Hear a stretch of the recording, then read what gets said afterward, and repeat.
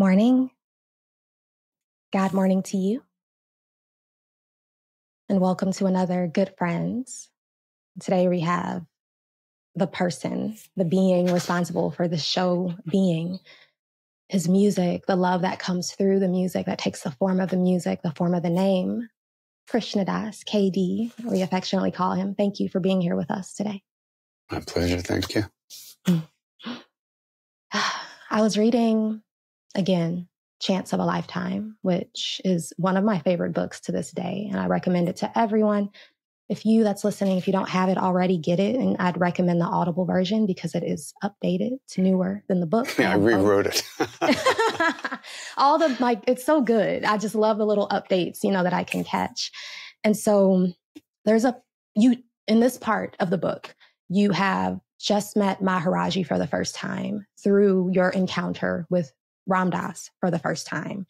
And you're driving back home, even though he had offered, I believe, for you to stay that night because it was late. You're driving back home because you had to work the next day, like drive a school bus, and you start falling asleep. But then, like, you wake up and you're still on the road, you're still fine, and you start chanting the mantra that he gave you. And you said you're like screaming it all the way home. Can you tell us what the mantra is? I've been Sure, curious about yeah. that. You know, uh, actually, I pulled over and set my alarm clock, Really? and I, f- and I took a nap on the side of the road. Mm. Then I woke up and I was driving. What? Yeah. And I was on the right. I didn't know. I woke up and I didn't know where I was, what I was doing. And I'm, I'm driving and I'm on the right side of the road, and, you know, and, and that's when I went, Oh my God. And then I started yell, Oh, yelling the mantra. goodness. And I- so, what was um, this mantra? Well, it's a mantra from the Ra- Valmiki Ramayana. Mm. And it's supposedly the mantra that Brahma gives to Rama Mm. so he can conquer Ravana. It's, it's, um, Aditya Hridayam Punyam Sarv Shatru Vinashanam.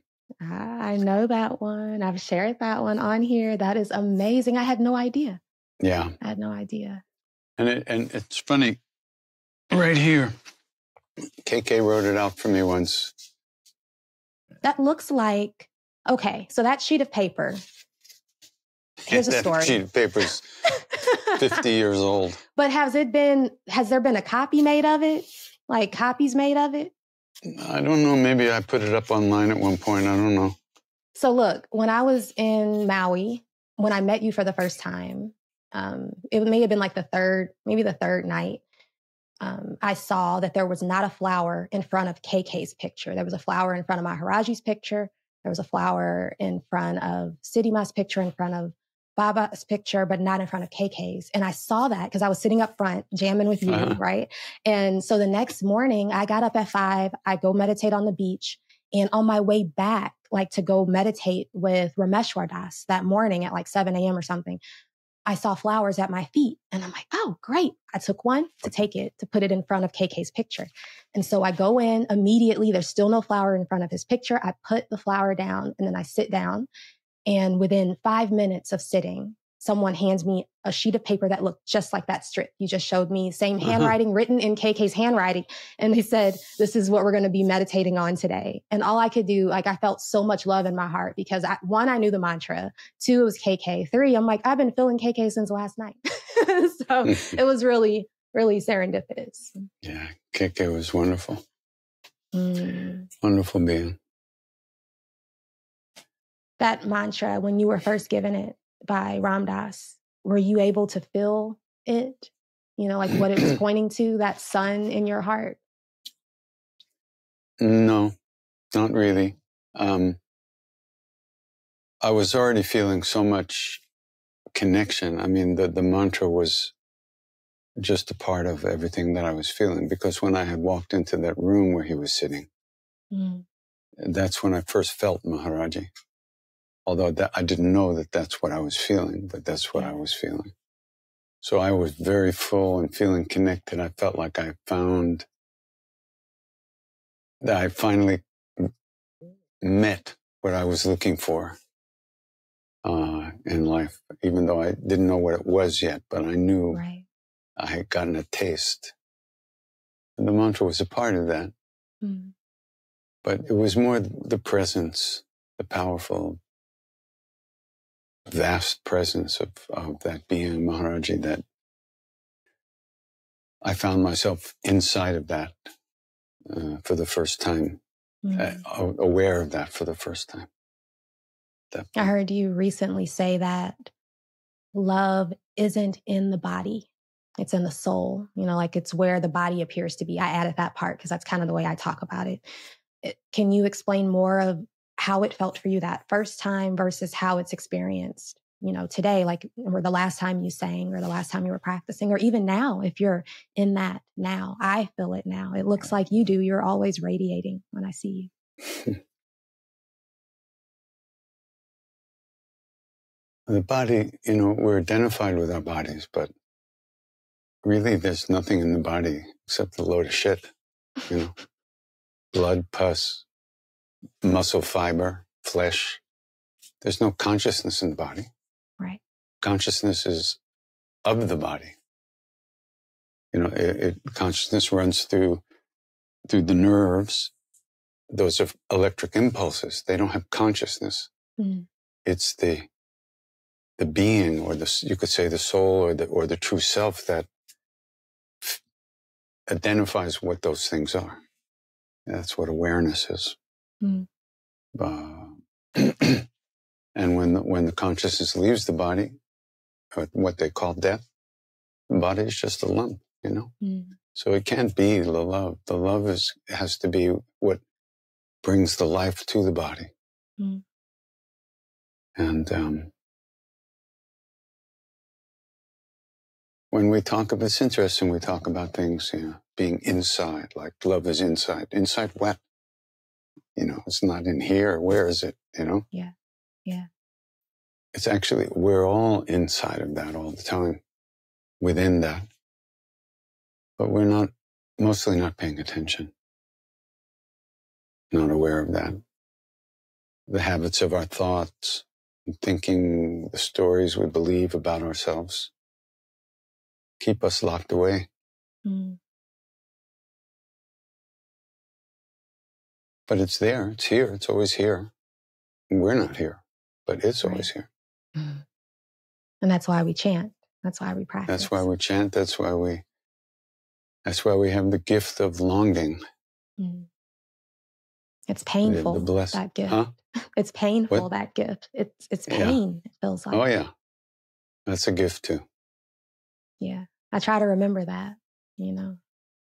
I once wrote a song. I said, I have the ego of a lover and it's easy to see. The pain of separation is sweet to me. Ah, that's gorgeous.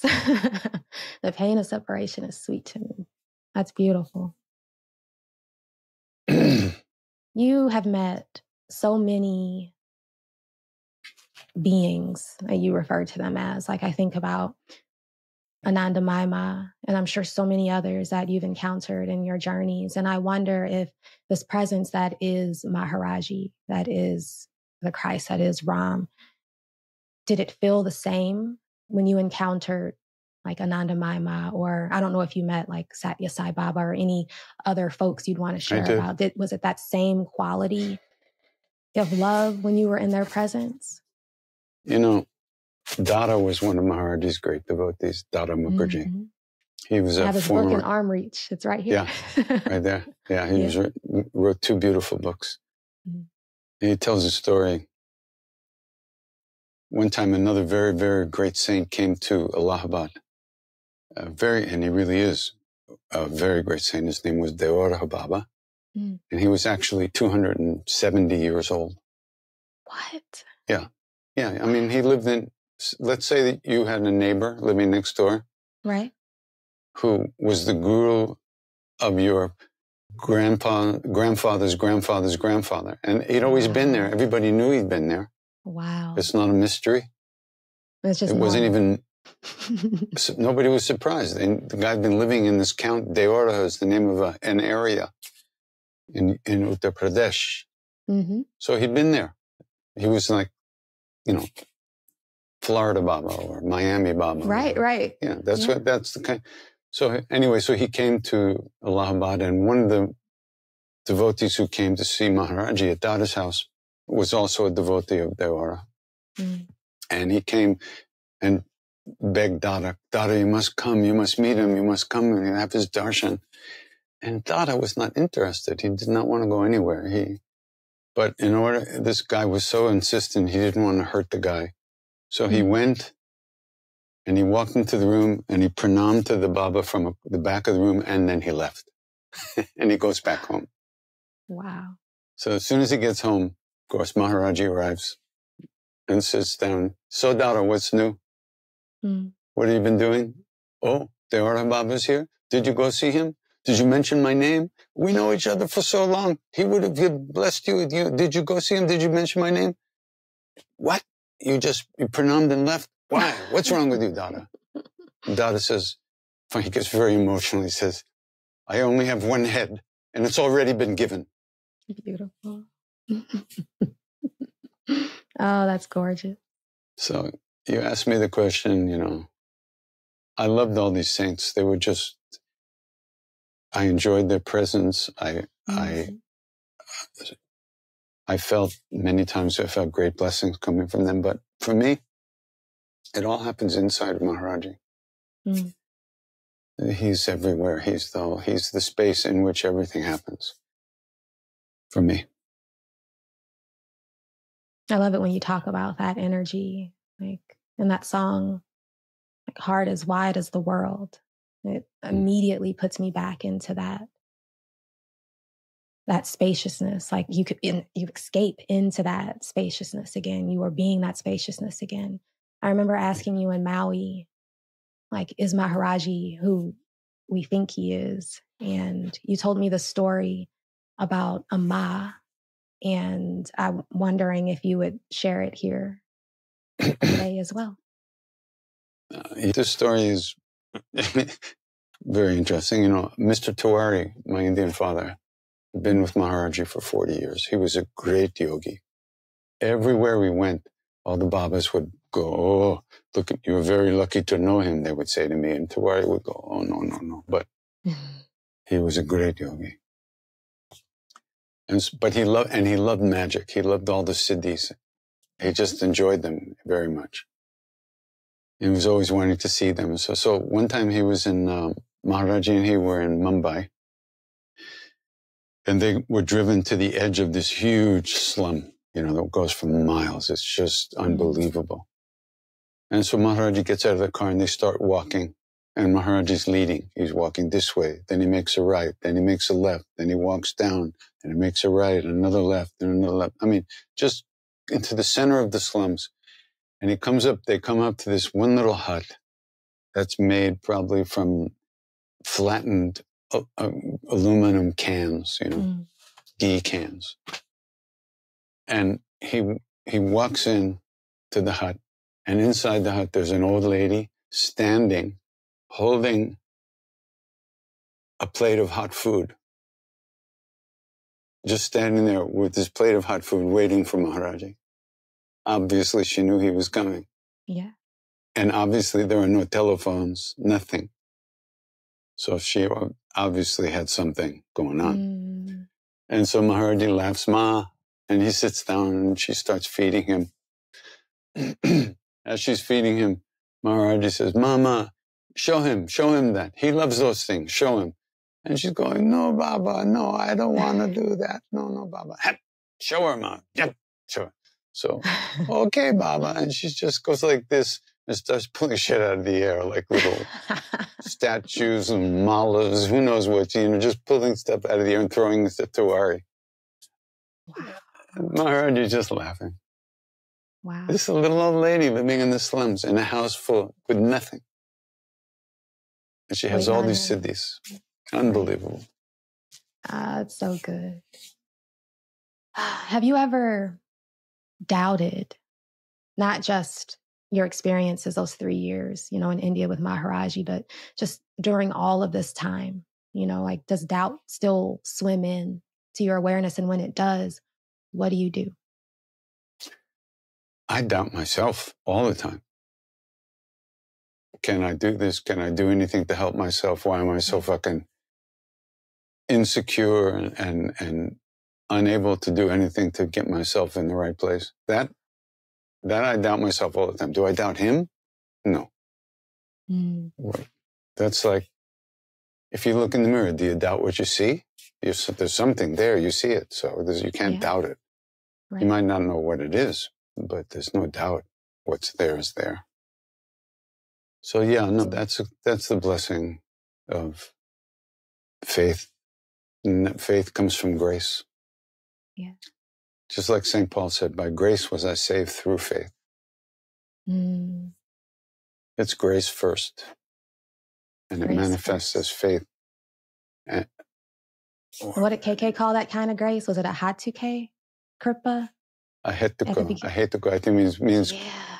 causeless grace. Of course, no, grace is causeless. If, it- if it could be, hmm you can't earn grace. Nobody deserves grace. Grace is grace. It wouldn't be grace if we deserved it. Yeah. It wouldn't be grace if we earned it. Then it's, then it's something you get. Grace is just grace. There's no explaining it, why it happens to whom. Eh, It's some, it's a real mystery. I mean, I imagine somebody understands, but not me. you know, you're talking about grace. I came across your music not for the first time in 2020, like it felt, but it was in 2018 when I was going through my transition, deciding whether or not to be in St. Louis or California or move to Florida. And I heard your Sitaram song and I heard it and I could feel something there, but I'm like, eh, this isn't for me, you know? And of course, 2020 and beyond, up to this day, like you are my background music, you are my foreground music. It's always chanting the name is always present. Also, though, you sent me um, a book about a Russian saint, Saint Seraphim of Sarov. Have I read that book? No, not all of it, parts of it. You Uh-huh. told me to read Larry Brilliant's book. Have I read it? No. What is it about us where we don't follow instruction? like we, it's hard for us to do what I know in my heart. I should read those books. There's a part of me that doesn't want to read Larry's book because I know he went through a struggle, you know, with his faith and with a child, and that's scary. And even at the retreat, you kept telling me like, go make sure you go to Ramdev's talk about death. And I'm like, I don't wanna. I want to go sit at the beach and just wait to sing again tonight. You're like, no, go listen to these talks. What is it about us that you know is so resistant, even though you know what would help us? No, it's not resistance and it's not personal. It's just our karmas. Yeah. And so we, we, when you're younger, you live with like, you know, death is some idea that happens to other people. And maybe imagine someday I won't be here. Maybe who knows? But when your body starts decomposing and you can't get out of bed in the morning, then you start getting, whoa, okay, something's going on here. It's like, like one of my friends said, they're firing at our regiment. you know, and Roshi Joan Halifax said, we're working ourselves to the front of the line. hmm And the Mhm. closer we get to the front of the line, the more we, we underst- we become, uh, aware that maybe we should get our shit together. Yeah. But until, until you're thirsty, you don't drink. It's okay. That's just the way it is. And, um, you can't, we can't change people and we can't even change ourselves. We can only do the best we can. There's no other option. And you know what? Everybody is doing the best they can. Mm. It's not for us to judge. Some people seem to wake up very early in life and, and other people get a little hit and then forget, then get another Mhm. little hit, then forget. That's where most of us are at, you know. Yeah. You know, there's a story about Indra. he, he's, he screwed some, some saint's wife or something like that, some yogi's wife. So he, hmm he got banished from heaven and he had to live as a pig. Wow. And when, when the time came for him to die as a pig and become, go, move, go back to heaven, he didn't want to go. He, he was just enjoying the mud and the shit and, and the other little piglets and his That's little good. kid, you know, he Yeah. was just so much into it. He just, wait a minute, I don't want to go. I don't want to go. they had to pull him out of the body to go. Yeah. That's so appropriate. That's good. I've never heard that story. That's good. So I, I, I can relate to that story. Mm. Yeah, me too. Can I ask why you, and this is for the person that's listening to in case they grew up Christian, that book about Saint Seraphim, who I have quoted and bought other smaller books about Oh. him. Why did you send me that book? Why do you have that book on your suggested reading list on your website? because What it's just because the because real saints were everywhere, are everywhere in, on the planet in every different culture. They're not only in India, they're not only in Tibet, they're not only in in in the one country or another. You know, they they've been and always will be Mm, all through the all through humanity to, because there's people to help. Yeah. And Saint Seraphim was just my God. It was he he spoke directly to to Mary, to the Virgin. yes. You know, when she manifested him, she she spoke to him, and uh, it, it, it was unbelievable. And he was so selfless and so egoless. It was amazing. It's just the story is so beautiful. I remember reading about his experiences with the mother, and I actually got a copy of the icon that he had in his cell that he kept in his Uh-huh. cell. And it's on my altar now, along with everybody, the whole gang, you know, and Mhm. now Mother Mary is there too. It's gorgeous. Yeah. There's a prayer I came across not too long ago that said, Mother Mary, be a mother to me now. And that felt Mm. good. I like to say that sometimes instead of just, you know, I'm listening. in. Jerusalem, the, Yeah. my, we went, of course, to Golgotha. You know, this where Mm, Jesus yes. was was was crucified, and then Mhm. there's the the cave where they brought his body. But and that was very powerful. But the place I liked the most Mhm. was Mary Magdalene's grotto church down below the Oh, ground. I there's this there. down into this grotto is whoa. It was beautiful. Mm, Yeah, really, really a nice place. Really beautiful place. Strong place. yeah. I'm curious about your present practice. Like I see you and we sing with you and your events, but on a day where you don't have to serve us, like how do you serve yourself? You know, what does your practice look like? You know, I, I do as little as possible. yes. I, I do usually I do some pranayama. That's what I do every day. Mm. And most I try to do asanas every day. Sit for a while every day and do some japa every day. Mm, Basically, you know, nothing too nothing too. Believe me, I, I don't exert myself barely. Yeah. You know, just- I waste so much time. Mm. I remember you saying recently in a talk where you were like, if we actually believed that by taking the name Ram, everything would be accomplished, we'd be saying it, we'd be chanting it all the time. It's Yeah, like, what we don't. said. We don't.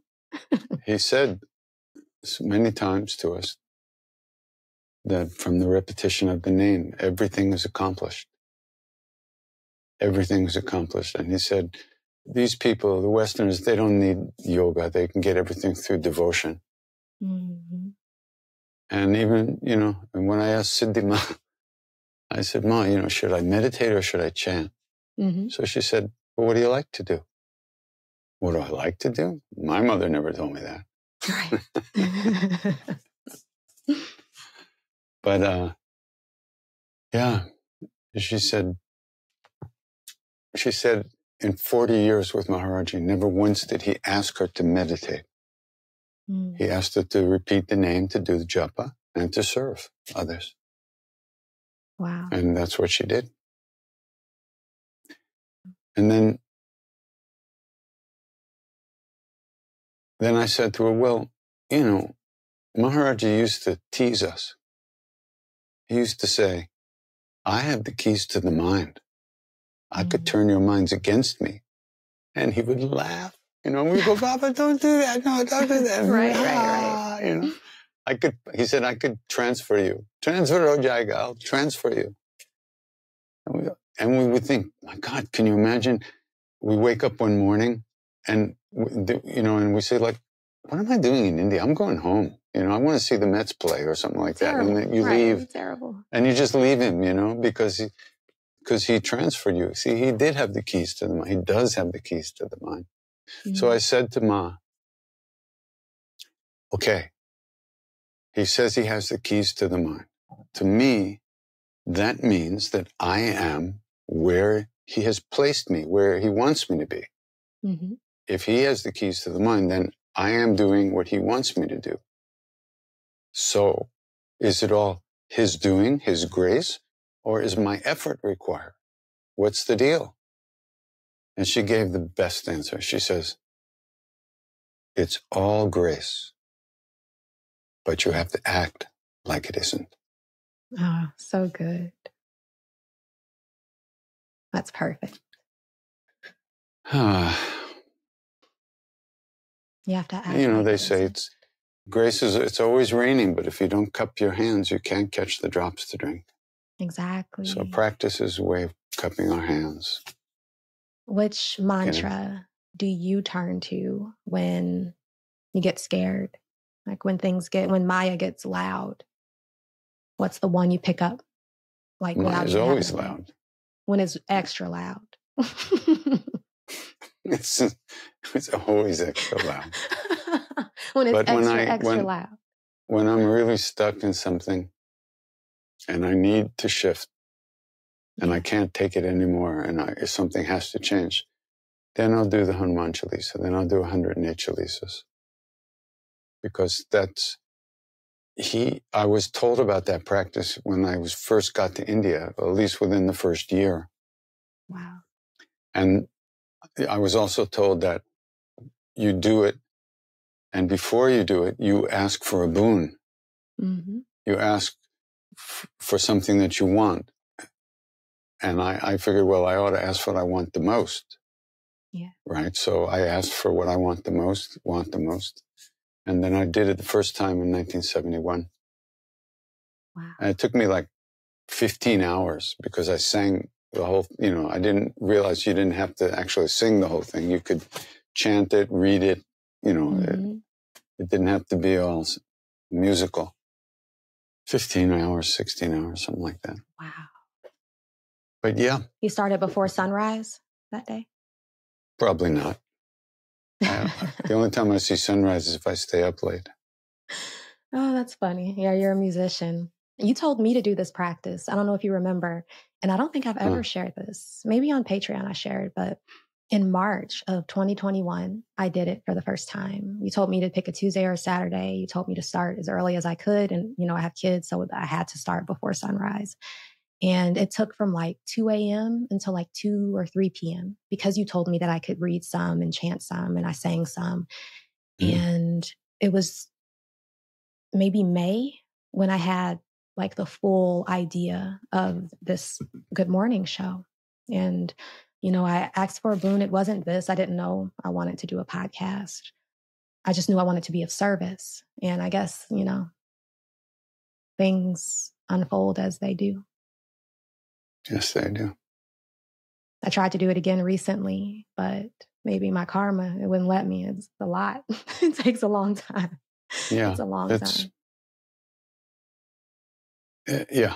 I mean, once again, we think we're doing it. But if we, if we can do any practice, if we really can turn towards the light a little bit, it's only because of grace. It's not our own. Uh, Well, it depends how you look at it, but that's the way I look at it. Yeah. Yeah. I mean, I've thought mm, like some, well, maybe this weekend I have Sunday free. Maybe I'll do 40 Mhm. chalisas.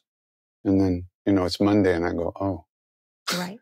I do that a lot. do that often. At least I know it's not just me. That's good to know. I saw Yeah, a story in Love Everyone recently, and I can't remember the guy because I'm not familiar with him, and I think he's since transitioned. But he had went into the jungle a year after Maharaji's Mahasamadhi, and so he's out in the jungle and he sees a tiger. And he's terrified, and Maharaji appears and he's laughing and he says, Chant the Hanuman Chalisa. And he starts chanting, and he's still scared and he's singing loud.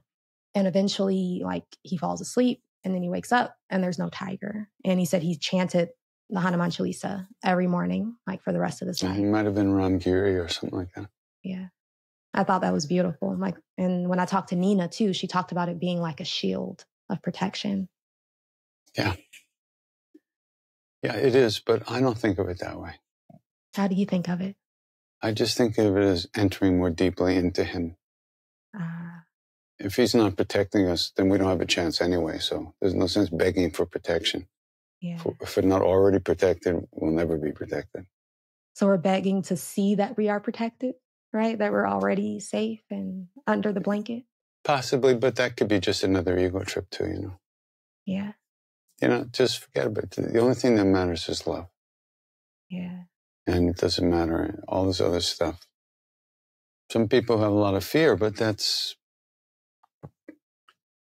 yeah, uh, that's more, it's not spiritual fear, it's emotional fear. Right. And those things can be worked on. And, and there's a lot of ways to work with those kind of uh, issues. Mm. But as far as spiritual fear, there's, you know, uh, you know, I'll tell you a story. So I have a friend who father and grandfather on both sides of the family were devotees of Maharaji. Mm-hmm. And he himself met Maharaji when he was a boy. Last time he saw him when he was eight. and after Maharaji disappeared, this, my friend's mother, Indian, they're Indian people. My friend's mm-hmm. mother uh, met another very great saint. And um, became his devotee also for many years. And the saint was very sweet, very kind to him. And then he would go to India to meet his mother and they would go to visit the saint. And the saint was very loving, very sweet. Mm. And my friend always wanted to ask this other saint whether he knew Maharaji or not. Mm. But he never asked him. He never got the chance. And then he was with the saint very close to the time that the saint left the body. The, this, this saint was very sick, very ill. He'd lost all this weight. He looked very, very. And so my friend didn't have the heart to ask him that question that he'd always wanted to ask him. So there they are. There's, he's sitting with the saint, and there's one other man there. And he, he just said to himself, I'm, no, I'm not going to bother him. I'm not going to ask him. So the saint turns to his, this other devotee and says, do you know his guru? Says to the other man. And the saint just says, his guru is of such a stature that not even the heat of the fire could dream of touching those he protects.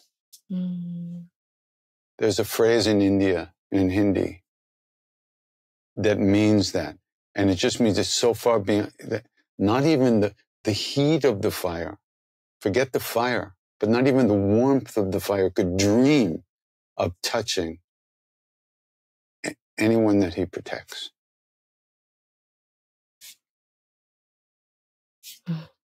That's beautiful. So,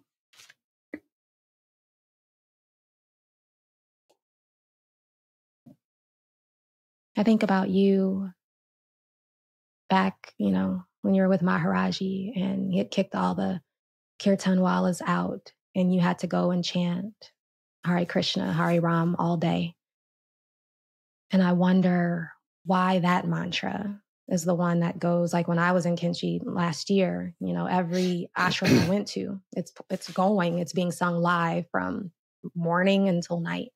And I wonder yeah. what it is about that one and was it his instruction for that to be the one?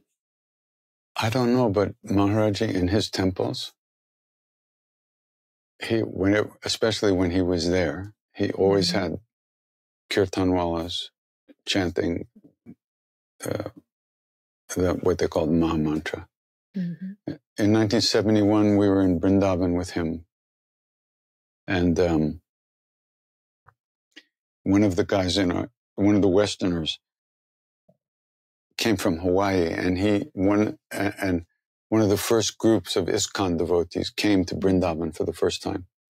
And they were led by this Hawaii, the West, uh, a guy from Hawaii who was the mm-hmm. big guru of them. And my friend knew him. So he invited them to come sing, chant in the temple for Maharaji. So they came with the drums and the shakers and the thing, and they were singing and dancing and everything, you know. And Maharaji was, hey, loving. And he turns to me in the middle of it and he says, Hare Krishna, Maha Mantra. Like it was a big secret, you know. And I go, okay. Mm. And, you know, we used to just stand there and like, Sri Ram, you know, you know, yeah. we didn't have anything, you know, we didn't know what to do. So after they left, he reached into his dhoti and he pulls out a 50 rupee note and he hands it to me. He said, go buy a drum. So from that 50 rupees, that's why we're here today. Wow. That's cool. That started the whole drum. Thing. Do you play the drums? He he said I didn't play. I bought I bought it and I wouldn't even play it. I wanted him to touch it first, so he ah. did. And then he said, "Who'll teach you?" I said, "Hanuman," and that's why I don't play the drum. nice. I can keep a simple little beat, but I'm not a drummer. Yeah, I don't have much rhythm at all. I would not be a good drummer. That's amazing. I love yeah. that mantra. It comes here often. Yeah, so it's my main practice. Every, every, yeah, every everywhere in temple in Brindavan and Kainchi mm-hmm. while the temple is open every day from about four in the morning till eleven at night. Yeah, the kirtanwalas would sing, and it's interesting because um, in in the Ram people, Ram people sing it with the Hare Ram first, and the Krishna people sing it with the Hare Krishna first. Exactly. And also the Shiva people sing with the Hare Ram 1st mm-hmm. So it's just the same thing. You know, people looking for things to fight about, but there's nothing to fight about. Exactly.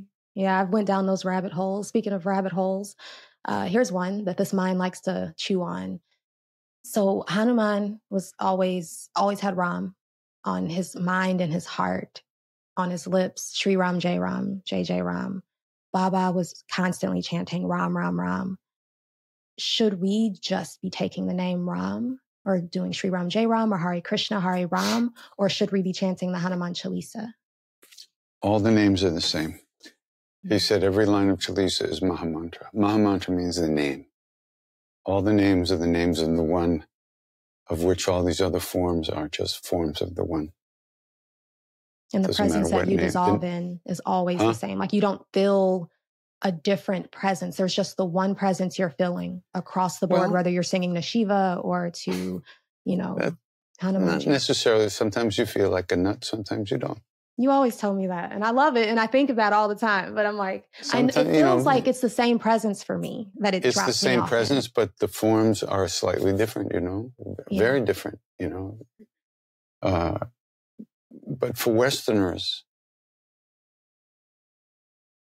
well, for, for, for, eh, we don't grow up in that culture, so right but still we could be attracted to the to different forms. Some people think Radha Krishna is the thing, and some people think Sitaram. Some people think, you know, uh, Shiva Shakti. All mm-hmm, that. Mm-hmm. It, it doesn't matter. Whatever turns you on is what's good. So, and it can change. Why should you do the same thing every day? Yeah. I come back to that all the time. I hear your voice in my head whenever I'm going down those rabbit holes about like Shiva Shakti and, you know, Sitaram. Then I hear you saying, it's all one. I see Baba holding up that one finger. And it's like all the stories are so entertaining. It's like being that pig in the mud again, right? And mm-hmm. I'm so entertained by the stories and trying to connect the stories. And, you know, Christ is like Hanuman in this way. Then I stop. And I'm mm-hmm. like, there's just this. there's yeah. just this. And it doesn't matter what I'm singing. You know, I'm here already. Yeah, it's a habit of overthinking. Yeah. And, I can catch it sometimes. It. Sometimes huh? it get I said sometimes it gets away from me. I can catch it sure. usually. Yeah. That's why we're here. Yeah. So I'm happy you are here and I want right now to tr- like transition into this moment where you guide us into the presence that is Maharaji, that is Ram, that is Christ, that is Krishna. And I would like for you to do Sri Ram Jai Ram, but sometimes you Mm-hmm. feel like a nut, sometimes you don't. So why don't you do what you feel and we'll just vibe and I'll mute. Okay.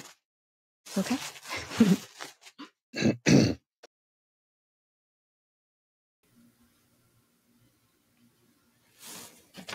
Hare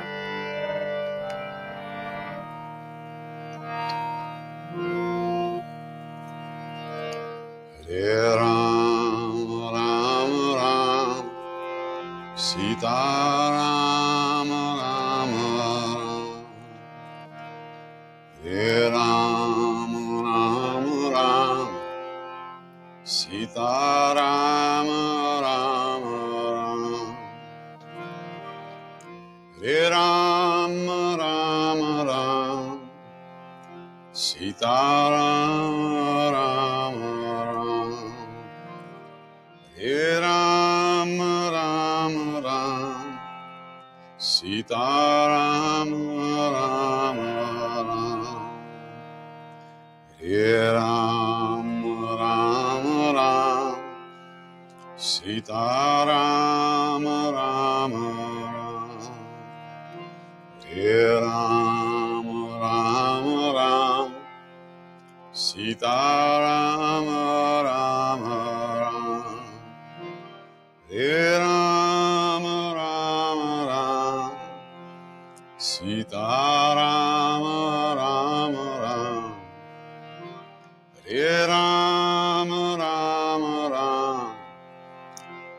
Sitaram Ram Ram hey Ram Ram Ram Sita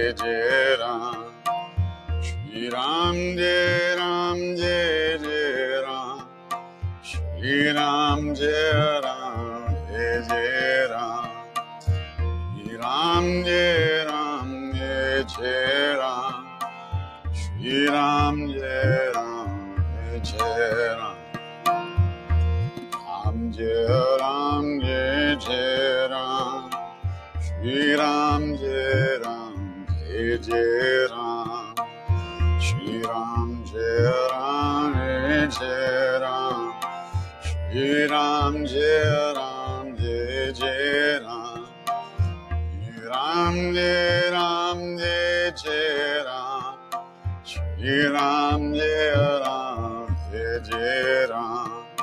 Shri Ram, Jai Ram, Jai Jai Ram. Shri Ram, Jai Ram, Jai Ram, Ram, Ram Ram, Sita Ram, Ram Jai Ram, Ram Ram, Sita.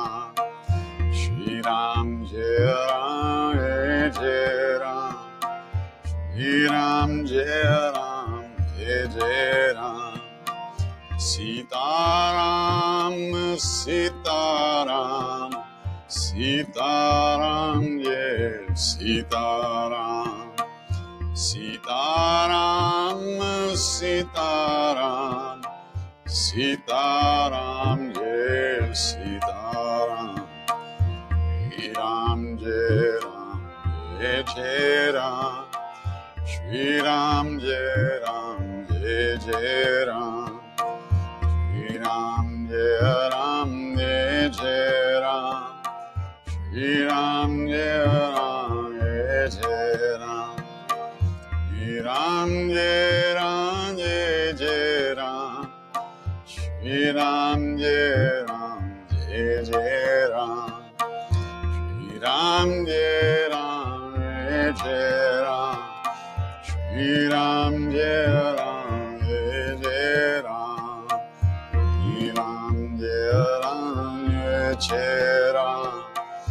Shri Ram जय राम, जय जय Ram.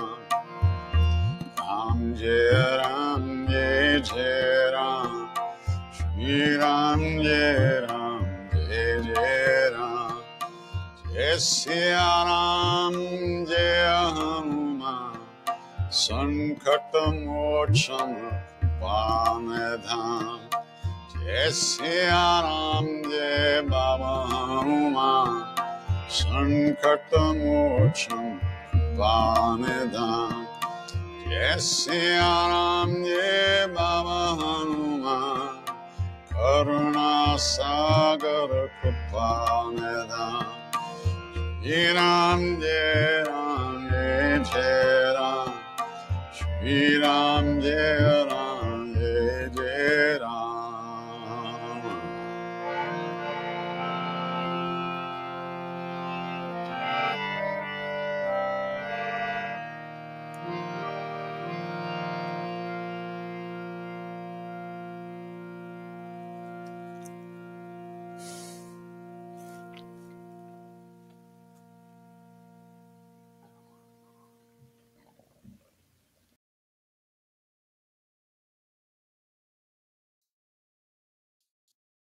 Thank you, thank you, thank you, thank you for being a transparency for him, for love constantly. Like, I can't thank you enough for helping me find my practice. Like, nowhere feels like home, nothing feels like home. But when I'm singing, when I'm taking the name, when I'm hearing the name, that's about as close as I get. and I wake up happy and excited to practice more, however that looks, even if it's just singing along with you, sitting down at the altar, which when I do, life is, it flows a little smoother, which made me think of another question. Why does life appear to fall apart when I'm not Yeah. doing my, my chanting practice? Yeah. It, it, it, it pushes things back in perspective, you know, automatically. For a minute, Yeah. Briefly. but that's a good thing. I'll take that minute anytime. Well, thank you for spending this time with Good us. to see I appreciate you. Good to see you too. Yeah. I love you. I love you. I love you. and we'll chat soon. Take good care. I'm not. If this episode helped you feel good, helped you feel God, then leave a review on Apple Podcasts and screenshot it and send it to me for a free gift. And follow me on Patreon so I can see you so I can see your smile.